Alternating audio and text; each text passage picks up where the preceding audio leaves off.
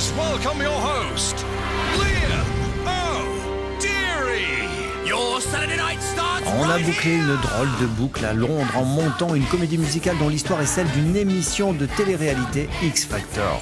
La caution est une histoire d'amour entre deux candidats qui vont jusqu'en finale. Geordie, Louis, Simon. Le juge et producteur de l'émission Simon Cowell a aussi coproduit la comédie musicale, mais il n'était pas là lors de la première. Il nous a vraiment laissé tranquilles. Dès le début, il a été très intelligent et nous disait Faites ce que vous voulez faire, sinon je vais ressembler à une sorte de chef d'orchestre et vous ressemblerez à des idiots parce que vous ferez ce que Simon a dit. Il nous a simplement dit de faire ce qui nous semblait juste et il s'en est tenu à ça. Une comédie composée par Andrew Weber à qui on a demandé quel était le secret d'une bonne comédie musicale.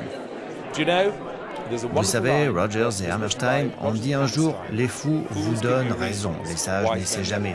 La réponse, c'est que je ne sais pas en fait.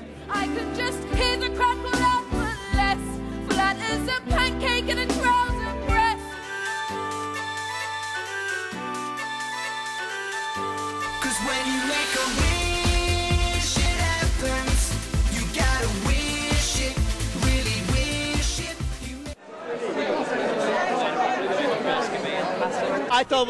C'était fantastique, je vais revenir encore et encore. C'est drôle, intelligent, c'est ça le X Factor. C'est tellement drôle, on a ri tout le temps avec des chansons merveilleuses. C'est un grand show. La comédie a été écrite par l'humoriste Harry Hill. Génial, on n'a rien vu de mieux. Le casting est fantastique, il chante très bien. Et le public a très bien réagi. La comédie musicale s'intitule I Can't Sing, soit Je ne sais pas chanter, et on peut la voir à Londres.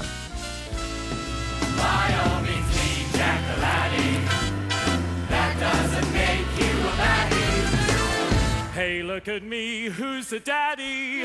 Complicated.